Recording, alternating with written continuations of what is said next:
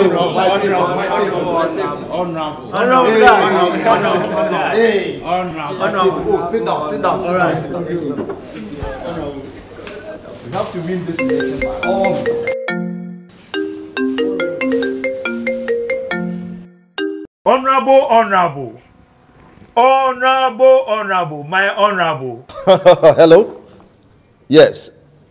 How is the family doing? Oh, they are doing well. Great, great, great. Junior is graduating next week. That's good to hear. Ekuya is now in the medical school. Great. Yes. And how about Jackson? Jackson was called to the bar last month. Wow. And madam? Because of the elections, my wife and the little ones are going to the US for a short stay. You know, family first.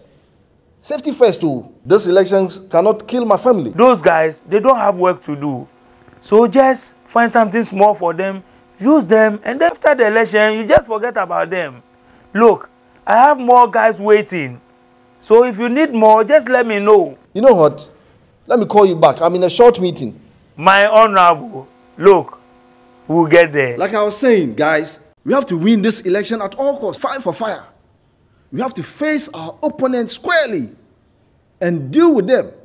Don't spare anybody. If you suspect that we are losing, create confusion, big time confusion. We can't stand aloof and watch our opponents win. No, we have to win at all cost. And when we come to power, After the election, what else? No way.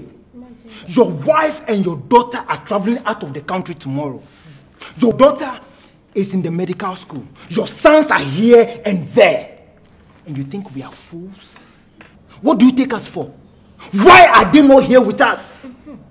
No way, guys. Never. Not this time. We won't allow you use this for your selfish interest again.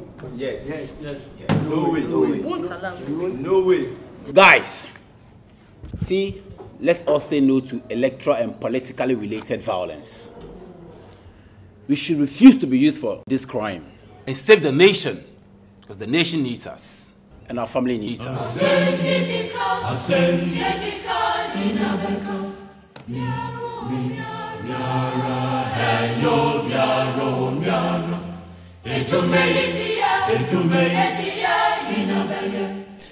This message is brought to you by the National Commission for Civic Education, NCCE, with support from the One Ghana movement.